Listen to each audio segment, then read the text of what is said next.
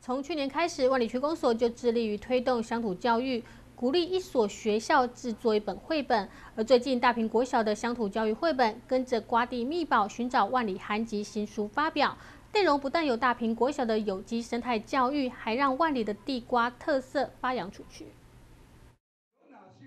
万里区从去年螃蟹季出版关于螃蟹的书籍，神明进和文化季再出版漫画绘本。近来大平国小再度推出全新的绘本，以地瓜为主轴，集合学生与老师的创意发想，绘出全新的彩色绘本，还有一支生动有趣的戏剧。期待透过一笑一绘本的乡土教育，不只是让亲师生对家乡有深入的了解，也借此发扬各校的特色。这一本是我们自然生态环境大苹国小哈嘉豪老师跟校长师生共同的创作。我想今天能够在这边哈看到小朋友的演出，结合各项的一个哦创意巧思，我觉得非常感动。好，我们推动乡土教育，好培养乡土爱家爱乡的一个一个情怀，这是一个很成功的校本教材。啊，书中介绍了我们黄嘴山、马树溪，好还有瓜地蜜宝，是我们五十七号跟六十六号的一个地瓜。好，那这边是万里大坪啊，那属金山地瓜的一个特产啊。这边的地瓜呢，又比金山更好吃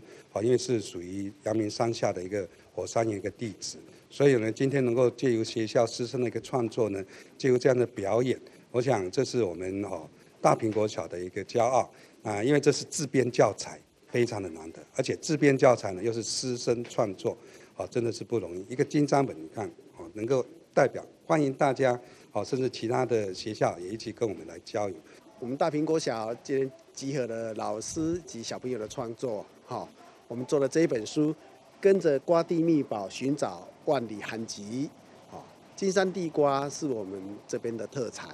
那我们这边有五十七号，好，跟六十六号，我们用作瓜地跟秘宝，我们以这个为来架构，我们集体来创作，希望说我们这里的。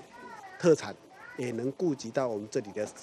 生态，也能能能够维护我们的生态环境里面，让我们可以永续发展。在新书的发表会现场，可以见到各个万里区的国中小学的校长都到了。为了乡土教育专书，大家有志一同，共襄盛举。期待透过绘本的创作，可以让孩子们自我醒思与探讨家乡，或是能代表学校的特色是什么。借此也推广至万里全区的校园，将乡土特色分享出去。那这本书其实我们学校也筹备了。一段时间，那经过了呃老师间的讨论，那跟呃小朋友沟通，那呃也非常感谢各位小小朋友们。那呃经过很长一段时间，那在呃讨论的过程中，可能有一些问题的产生，那也非常感谢各位小朋友，也从中学习了如何去沟通合作的精神。我在书里面我扮演的是瓜地，然后我给予的意见就是，我觉得可以就是。可以画图，因为我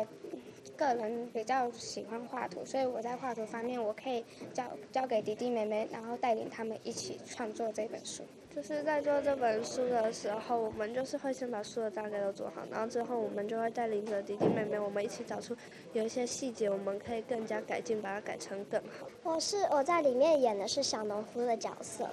然后我那个我分配的。是那个文字的部分，然后文字的部分可以学习到。可能他的用字啊，他的用词，然后也可以就是多多的去学习，然后不但可以教弟弟妹妹，然后也可以那个帮助他们学习分工合作。在老师的辅助之下，绘本内容架构应运而生，还有喜爱绘画的孩子们对于地瓜及绘本中的人物怎么呈现，也有相当不同的看法。甚至孩子们也会带着学弟学妹们一起思考创作。一本绘本的产生，触及多元的学习，还有戏剧的编排与演出，不但让让大苹果小的特色跃然于绘本之中，还可以透过肢体语言被看见。为此，学生们也感到无比的骄傲。记者罗平涵万里采访报道。